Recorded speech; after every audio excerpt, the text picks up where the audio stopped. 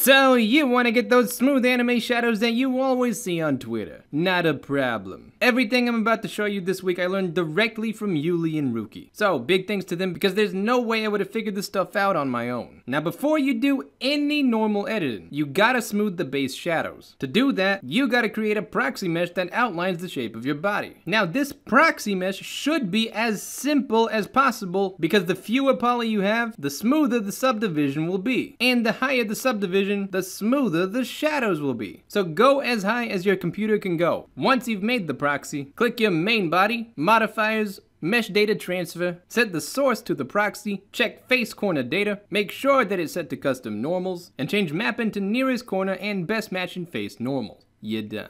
And now you can see that we got smooth anime shadows for days. After this, you just apply the transfer, and now your model doesn't even need the proxy anymore. Hope that helps. And as always, hope you have a fantastic day, and I'll see you around.